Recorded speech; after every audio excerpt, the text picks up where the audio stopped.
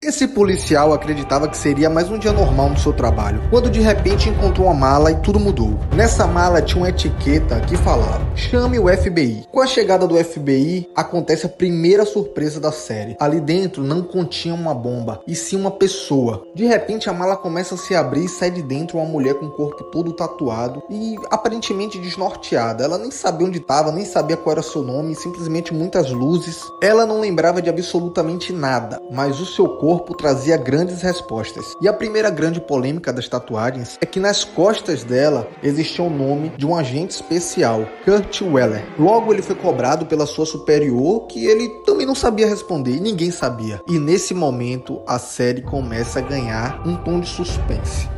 E já que todos estão em busca de resposta, nada melhor do que mandá-la para campo para ver se ela consegue lembrar de alguma coisa. Nesse momento, Kurt Weller ele é contrário à decisão da sua superior, mas de qualquer forma ele tá ali para cumprir ordens, então ele vai atrás do chinês. Acontece que o suspeito consegue fugir e o agente vai atrás dele. Nessa hora, ela toma o seu primeiro tiro na série. Só que nesse momento, teríamos uma grande surpresa. Ela consegue se recuperar e vai atrás do seu companheiro de equipe Kurt, e ele simplesmente está tomando uma surra do chinês. Para sorte dele, ela simplesmente consegue lembrar que também é uma atiradora. E com isso ela consegue acertar um disparo no ombro do chinês. Isso foi um pequeno resumo de tudo que acontece nessa série. Inclusive nesse episódio, se você quiser assistir completo, é só entrar no nosso canal do Telegram.